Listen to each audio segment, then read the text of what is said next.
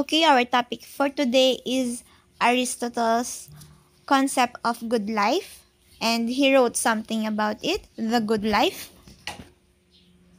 Aristotle's Nicomachean Ethics and the Good Life. Are we living the good life? That is our questions to ourselves, diba? Necessary reflections must be made on two things. What standard could be used to define the good life and how can the standard serve as a guide toward living the good life in the midst of scientific progress, as a guide toward living the good life in the midst of scientific progress and technological advancement? Documentary film entitled The Magician's Twin by Lewis and the Case Against Scientism. Lewis postulated that science must be guided by some ethical basis that is not dictated by the science itself. One basis is Aristotle's Nicomachean Ethics. According to Aristotle, an important Greek philosopher, every art and every kind of inquiry, and likewise every act and purpose, seems to aim at some good, and so it has been well said that the good is that at which everything aims. Okay, that is written uh, by Nicomachean Ethics 1 verse 1.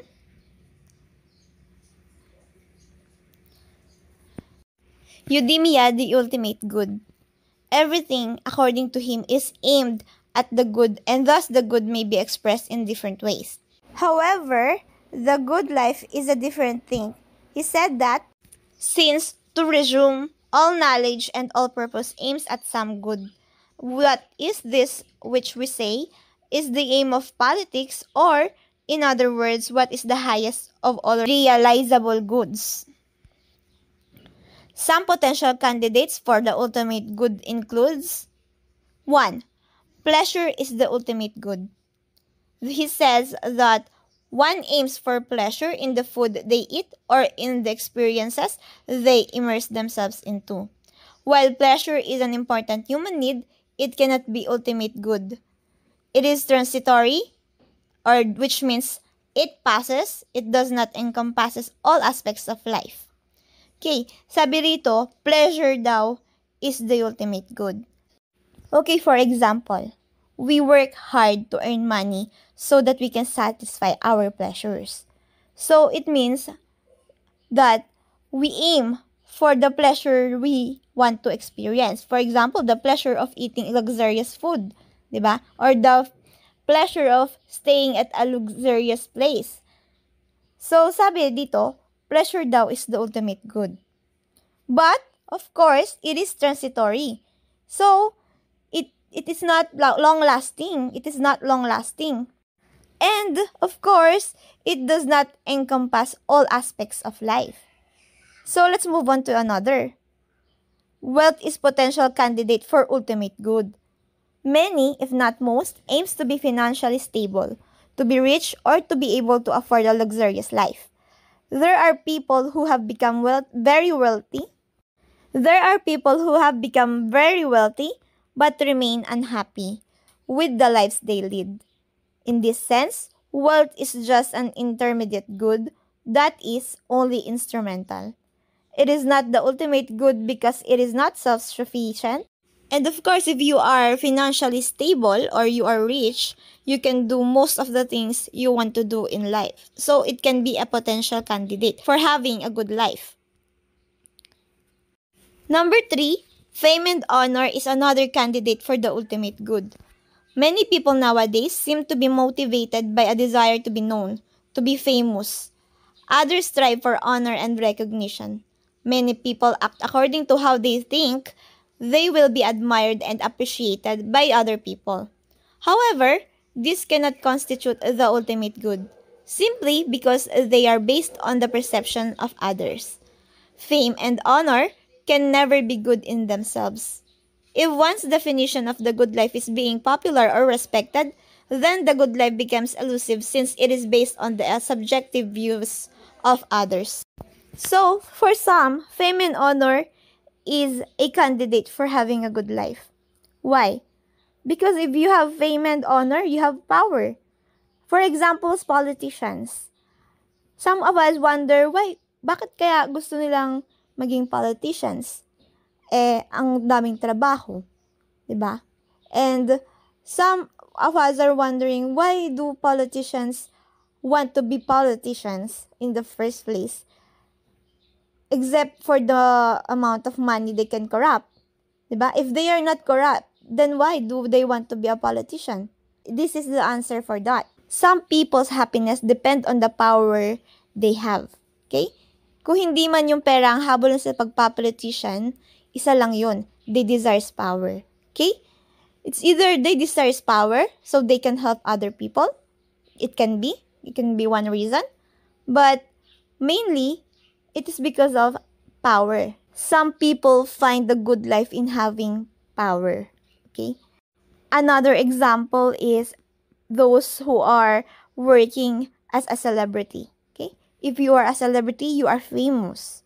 And some of us look at celebrities as if they have perfect lives. That's why we look at them as if they are living a good life, di ba? Another are the social media influencers. We also look at them like celebrity, di ba? They are famous. Okay? Sometimes we perceive them as they are having a good life because what they portray in the screens or in the roles they, they play or in the social media, they have good lives. That is how we look at them. So sometimes we perceive the good life as if it is incorporated with fame and honor. Okay, do, do we get it? Unlike pleasure, wealth, fame, and honor, happiness is the ultimate good.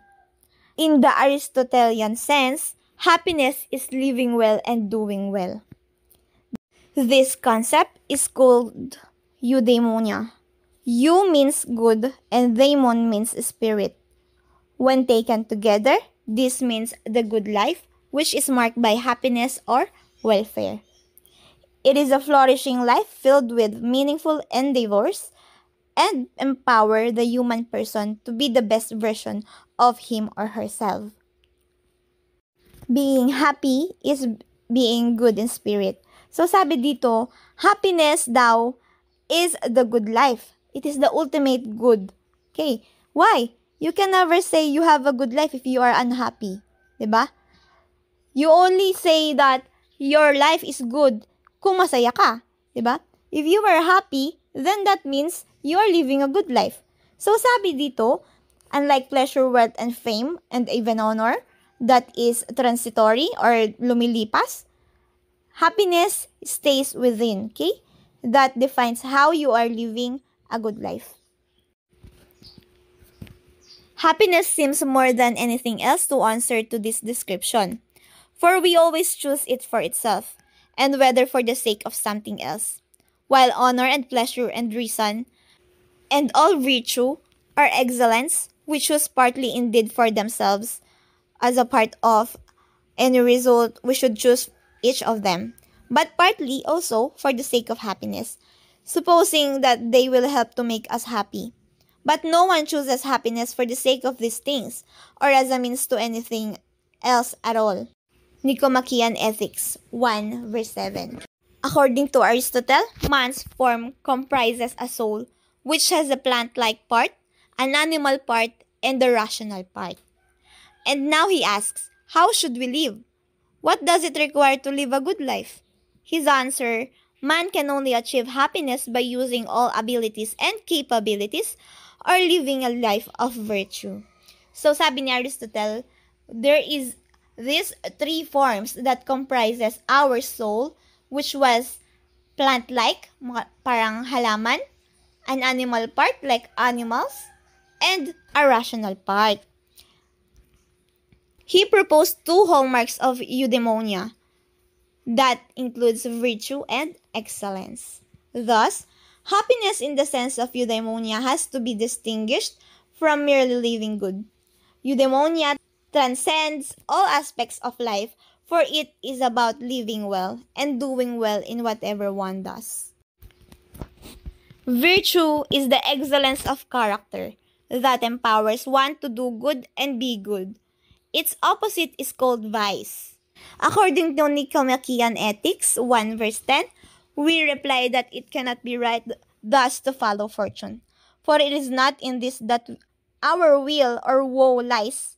But, as we said, though good fortune is needed to complete man's life, yet it is the excellent employment of his powers that constitutes his happiness, as the reverse of this constitutes his misery. Okay? There are two types of virtue, according to Aristotle intellectual and moral. Excellence, then, being of these two kinds, intellectual and moral, which wherein intellectual excellence owes its birth and growth mainly to instruction and so requires time and experience, while moral excellence is the result of habit or custom, and has accordingly in our language received a name formed by a slight change from habit. Intellectual excellence, thou, is requiring much time and experience. So you can have intellectual excellence daw if you have enough experience in life. So we are intellectually nourished daw if we have more experience in life. While in our moral excellence naman daw is formed by having several habits, okay? Or how you morally depict yourself by your habits. Okay? There are three forms of happiness according to Aristotle. That concludes happiness is a life of pleasure and enjoyment, and happiness is a life as a free and responsible citizen. And lastly, happiness is a life as thinker and philosopher. So happiness though is found when you are pleasured and you are enjoying your life. Another is happiness daw is as a is being free and responsible citizen. And happiness daw is if you are a thinker or you you analyze all the things in life and a philosopher. Okay, if you are a philosopher kasi you look for answers or you provides answer on your life. So that means daw you can find happiness by that. Aristotle then emphasized that all three criteria must be present at the same time for man to find happiness and fulfillment. So, dapat meron ka ng tatlong yon. He rejected all forms of imbalance. Had he lived today, he might have said that a person who only develops his body lives a life that is just as unbalanced as someone who only uses his head. Both extremes are an expression of a warped way of life. So sabi niya daw, your life should be balanced in all those three aspects. Okay? So is eudaimonia uniquely human? Eudaimonia or happiness is unique to humans for it is a uniquely human function. It is achieved only through a rationally directed life. Aristotle's notion on tripartite soul is summarized in the next table. Aristotle's notion on tripartite soul involves rational, sensitive, and nutritive, wherein humans daw are born to be rational, animals are sensitive, plants are nutritive. Okay?